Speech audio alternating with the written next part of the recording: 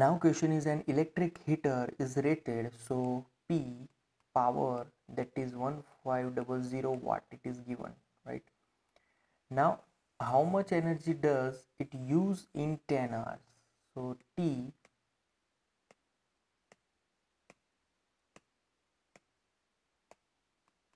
that is 10 hours.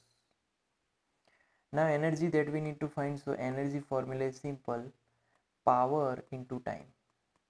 So 1500 into 10 so that will be 15000 joule. So power is in joule. This energy will be used to uh, use that electric heater for 10 hours